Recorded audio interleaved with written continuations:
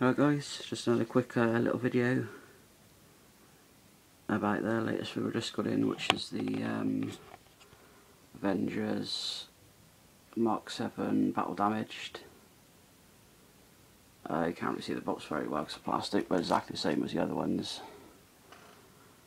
Uh, obviously just a slightly different picture on there, but it's the same like pixelated design, exactly the same. Just the uh, Mark 7 on the top there. Let's give a quick scan over him. And I'll show you what he comes with, which isn't a lot to be honest. Uh, so he does, obviously he comes with his um, articulated hands, just standard now for the uh, Iron Man. Uh, he comes with his two repulsor blast hands and the little wrist guards to go with them. And two of the little uh, missile uh, pods we can swap and uh, so we'll swap out put on his arm there. And this is the head what he comes on what comes on him. Which is obviously the battle damaged one it's all banged up and uh, it's the same as the um,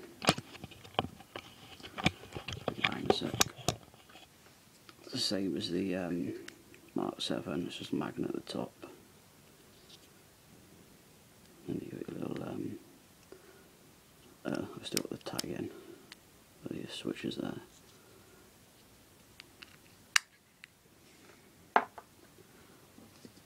and then he comes with one of these which is the same as what come with uh, Captain America. Which you just put on the base. Uh, this is what he, he, did come on one of these. But uh, I swapped it out for a ring one because this isn't designed very well for this base which I'll come into in a bit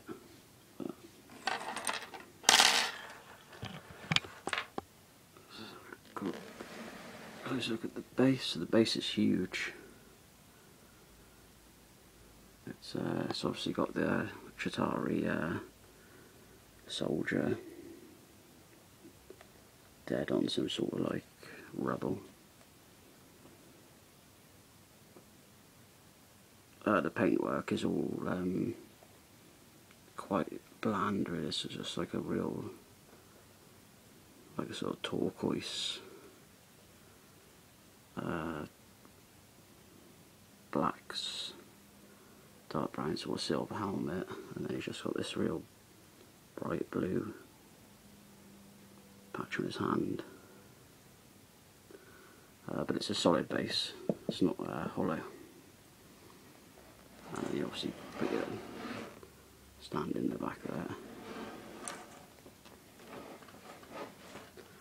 Uh, yeah, but the one thing about I was saying this, he should have really come with a transparent pole and the clamp to go around his waist for the stand because um, there's not really that many places you can put his feet that are flat. So you've got to put them sort of on something on there. And then this, he sort of sits too far forward for this, so you constantly sort of tip in over the edge of it. So if I was you, if you get this figure, I wouldn't trust him on that, personally. So then we get to the figure, uh, this is the other, this is the Tony Stark head sculpts. Which is nice, sorry about the lighting guys, it's not as terrible in this room, it's either too bright or too dark.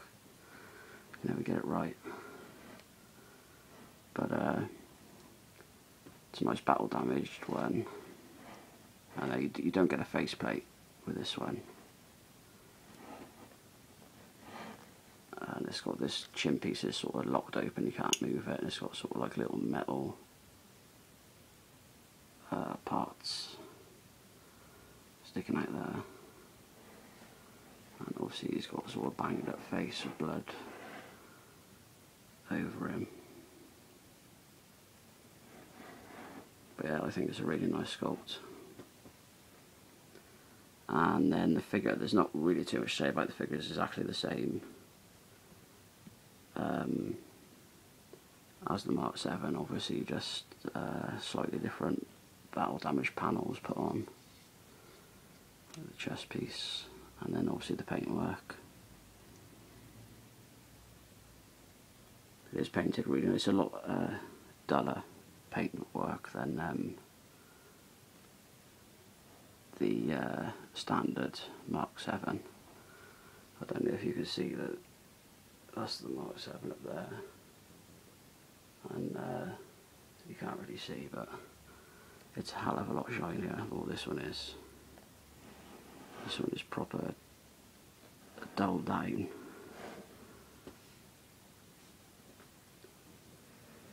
And banged up, but it's still exactly the same. The only uh, parts, you get these two flaps with him, but you don't get the uh, two top flaps.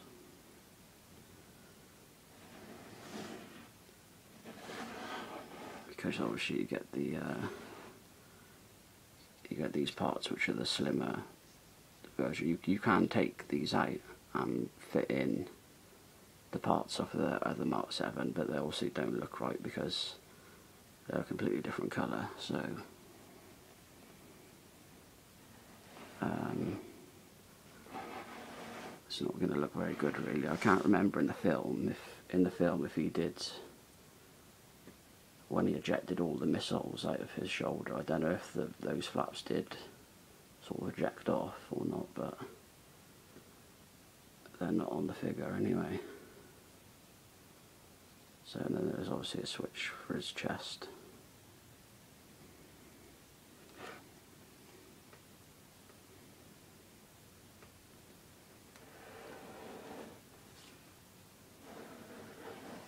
you don't get all the swap out parts either for this one, like the um, different shoulder pieces, the different thigh pieces and that. Just what you see is what you get with this one.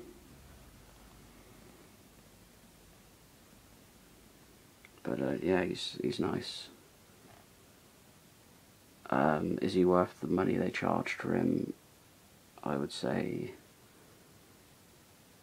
that one I paid $249 this one was 295 from Sideshow. And uh, so they slapped on an extra $45.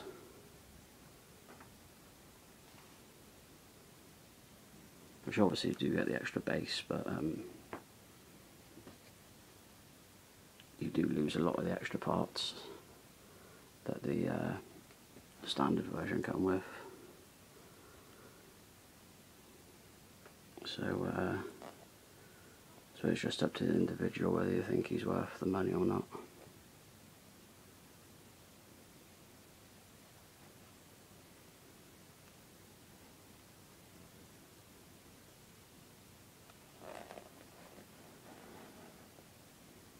yeah, he's cool. I'm, I'm pleased with him.